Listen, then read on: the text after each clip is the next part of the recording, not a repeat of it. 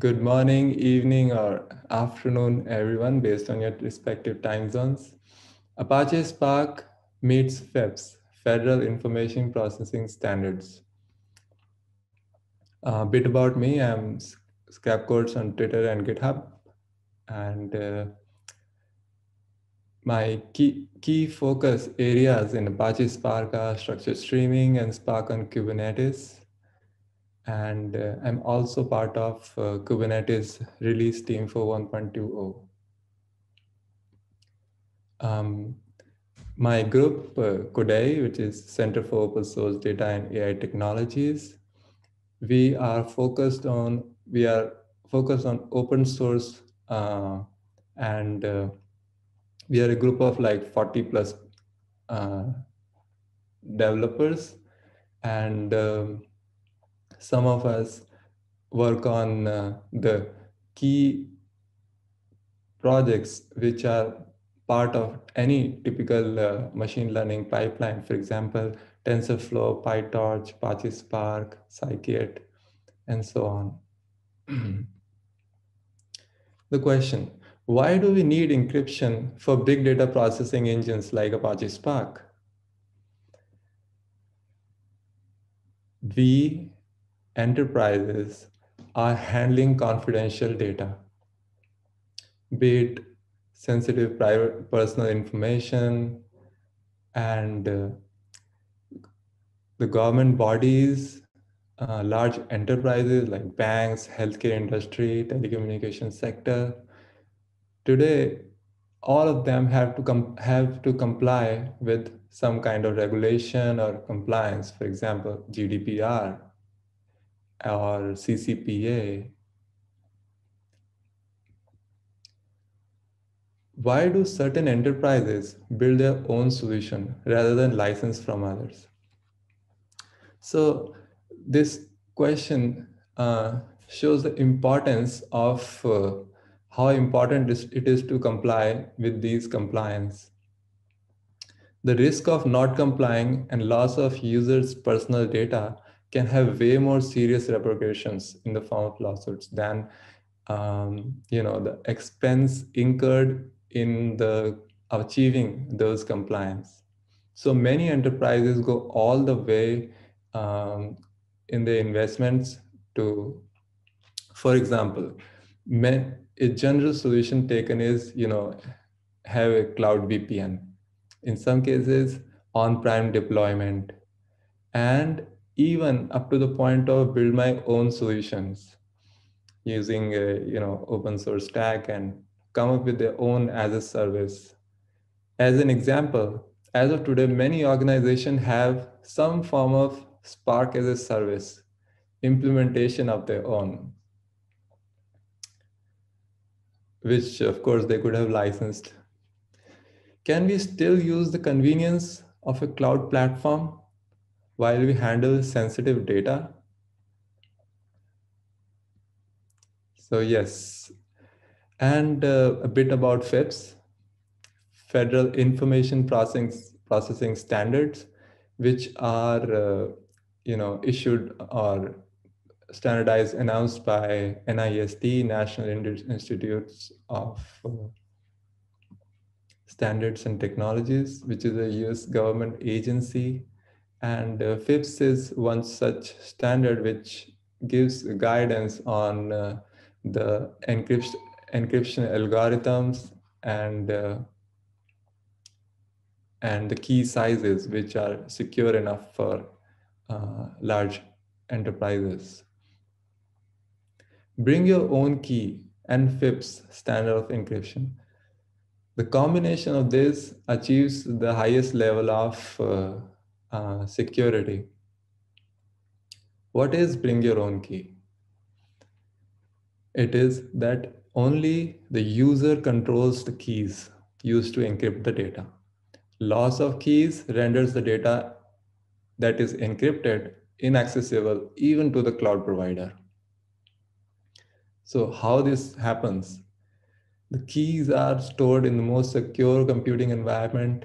You know, FIPS certified cloud HSM, which is like a dedicated hardware for storing uh, keys um, ensures that uh, they are stored in a tamper-proof way, and uh, and uh, any any uh, loss of keys simply means uh, the data is inaccessible for the both for the user and the cloud provider. And since the data is encrypted by the user provided keys, the cloud providers in themselves cannot access the data. We'll cover this concept in a brief envelope encryption. So this is what works underneath any bring your own key implementation today. Uh, this diagrams looks familiar to all of us. There is an unencrypted data, data encryption key, and we apply AES algorithm and we get encrypted data. What is special here is that this encrypted data and the data encryption key, which was used to encrypt that data, are both encrypted. The key itself is encrypted, which is called wrapping, wrapping of the key. And the and the key used to wrap the use uh, the encrypting DEK uh, data encryption key is the user provided key and that key stays safe in a cloud HSM and never leaves that system. The benefit of this is that when encrypted data and wrapped DEK are stored at rest in any storage, no one can access the data unless they have access to the root key, which are uh, protected in a, in a uh, secure cloud HSM instance. So we, we discussed the cloud provider cannot use the data. And if the keys are lost, the data becomes permanently inaccessible. Keys are protected inside a physical hardware, that is Cloud HSM, which are FIPS level 4 certified, which is like highest level of uh, security certification in the FIPS standard. Now, in a typical deployment, there is an OpenShift cluster or you know Kubernetes cluster. There are Apache Spark uh, nodes, and and each node has either a driver or an executor running on them. There is a cloud object storage and a key management service. A key management service is an interface to access the user key. The service it provides are, for example, wrapping a DEK and unwrapping a DEK. Wrapping is encrypting the key with the user provided key and unwrapping is reversing that. So in this case, OpenShift has an uh, integration for uh, uh, you know bring your own key, and so does Cloud Object Storage. How they do it? That all of their internal communication between the nodes happen over SSL, and the keys per, uh, used to perform that SSL communication is um, accessed through the key management service by these get wrapped DEK requests. In this way, the data that flows even on the network or is uh, stored at rest, all are encrypted through the user provided keys. Similarly, even the cloud object storage uses this uh, uh, key management service to wrap the uh, data encryption key. In this way, uh, the data is not accessible even to the cloud provider. When we say an application is FIPS compliant or a system is FIPS compliant or a library is FIPS compliant, what does it mean? It means the software is using communication and storing data at rest. And the encryption uh, algorithms used are approved by FIPS standard as stated in the as stated by the NIST. FIPS mode allows only a subset of encryption algorithm. Let's take a case in point. For example, OpenSSL, which has a FIPS compliant mode and also a default mode. So this example, I have listed all the uh, en encryption ciphers which supports uh, key exchanges RSA. And uh, this includes even those which are weaker uh, encryption algorithms, for example, null SHA, null MD5, and so on. The same OpenSSL, which is in FIPS mode, when we do version, we get FIPS. And when I list uh, ciphers with FIPS, uh, I get a subset of what we saw on the previous screen. The, the starting from 3DES from on the bottom up to the AES 256 GCM, you know, SHA-384 cipher, all of these are supported by the FIPS standard and are pretty strong uh, encryption algorithms. A smaller uh, key size, for example, AES 128 is probably more performant in terms of processing speeds, but is weaker in, in the encryption strength. And uh, similarly, AES 256 would be the strongest here.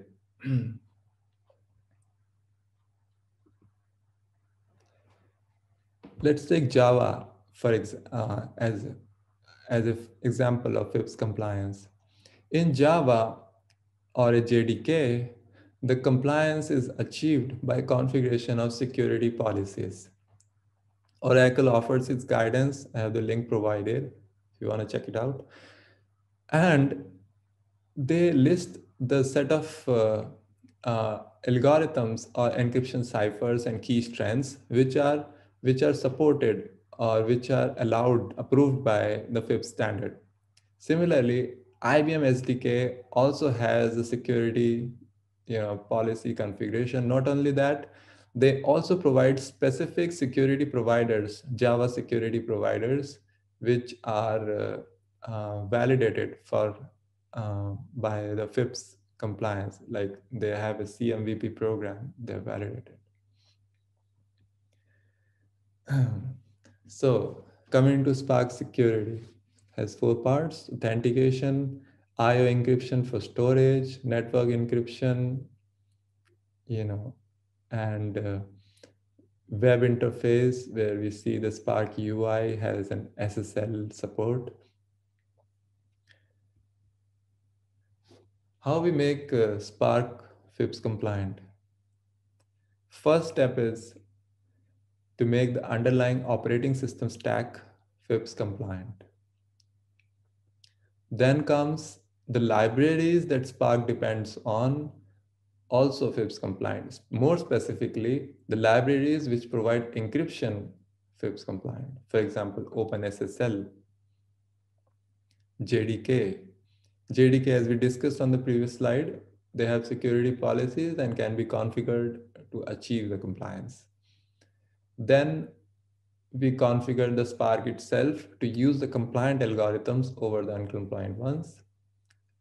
We optionally uh, are can use a stronger, um, you know, PKCS 11 provider and see how we configure that. PKCS has PKCS 11 has and is just an API interface to uh, for encryption, which is further which is implemented, which has implementation in open source, and also many hardware accelerators provide libraries which are uh, PKCS 11 uh, uh, API, which have PKCS 11 compliant APIs. So lastly, we'll get back to our OpenShift and uh, bring your own key and how this achieves the uh, security even on cloud. So first step, making the operating system FIPS compliant.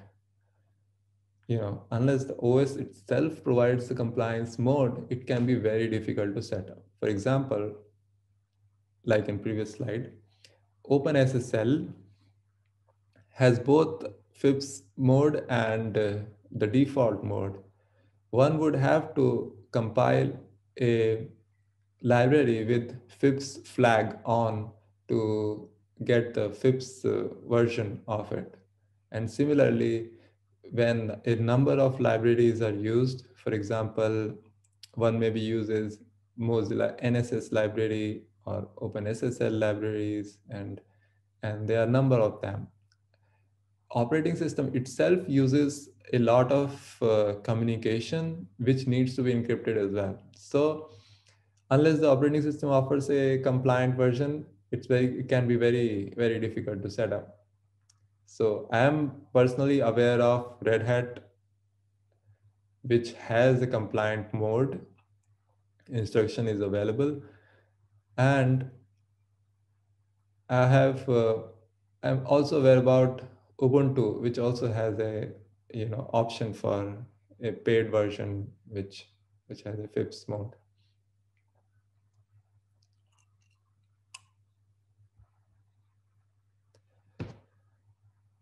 This is an example of uh, um, setting up a PKCS 11 uh, provider in the Mozilla. And uh, you know you provide a you know provide an NSS uh, configuration and uh, uh, set up the provider in the java.security file. Like in this example, I have configured it the down under. The order is also very important as the algorithms are searched in this order, one, two, and three, like that. So we already saw this. Oracle offers the uh, guidance on this and so does IBM JDK. And uh, both of them have a uh, common in this in their uh, setup that we need to set up their security policy files to use the right algorithms, approved algorithms or providers for that matter. FIPS compliant uh, for Spark. This is a configuration example and which uh, I have used pretty good, uh, very good key strengths and uh, use the secure random as PKCS 11 since the JDK is configured to use PKCS11, we can use them in Spark as well. Underneath, Spark uses uh, uh, either the OpenSSL library as uh, uh, provided by the operating system, or it uses the Java version of these encryption algorithms or ciphers. So we need to make sure both of them are also FIPS compliant.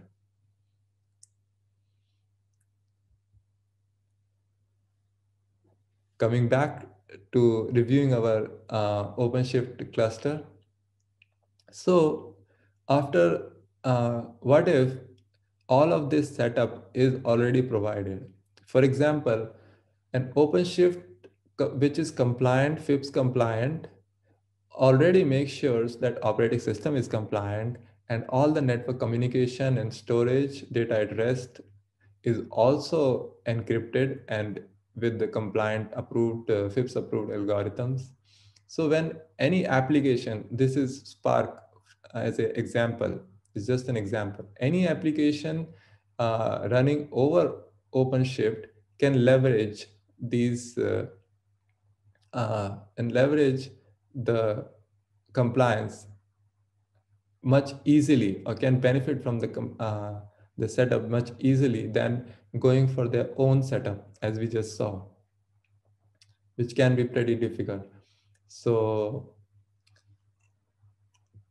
this integrate this uh, inbuilt uh, um, bring your own key integration in OpenShift uh, makes it uh, very convenient to uh, achieve uh, encryption or to achieve FIPS compliance